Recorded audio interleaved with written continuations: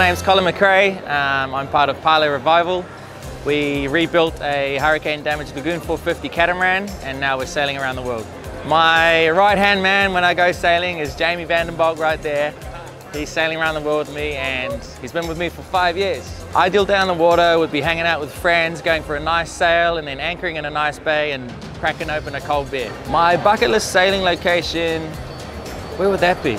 We've been to so many. The BVIs, you can't beat the BVIs. Just, just perfect sailing conditions. Our favorite Raymarine product would be our depth sounder because you can't go anywhere without that. We're going into some pretty gnarly places. Some, we're going into the atolls in French Polynesia and we just always need to know where our depth is. So that's the thing that I'm looking at the most.